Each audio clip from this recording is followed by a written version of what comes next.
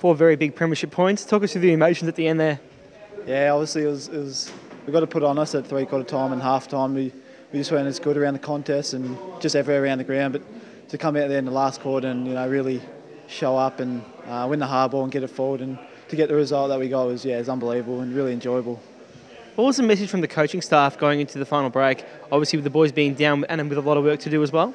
Yeah, we had a poor start to the, the second half, but then uh, started to play a bit better going into the last quarter. So we just want to build on that at three quarter time, and Deeks put it on us at three quarter time to you know, like I said, just win the hard ball and get it forward, so our forwards can have a chance and bring the ball to ground. And I thought we did that really well, and you know, a lot of blokes really stood up in that last term. The Blues were very determined and sort of came out with a very big point to prove.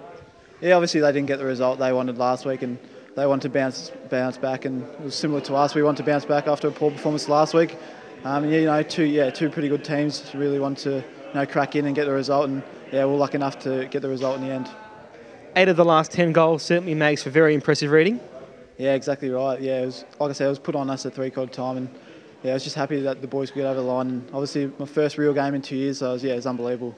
How would you sort of assess your performance? I think uh, the majority speaking thought you had a very, very strong second half, provided some much needed assistance and some very clean hands as well. Yeah, I think my mindset going in was just to try and be clean. Obviously, the conditions were hard, but um, yeah, that was my focus going into the game, and obviously, um, yeah, just trying to be clean around the ball and around the contest. And I, think, I thought our midfield was, was pretty good in, in patches, but especially in that last quarter, we really stood up. Given the time off, how did it feel to put the uh, Royal Blue and White back on? Yeah, no, I really enjoyed. it. Like I said, obviously my first like, real VFL game ever, honestly, my first debut. But um, yeah, no, it was enjoyable and uh, it was good to sing the song at the end as well.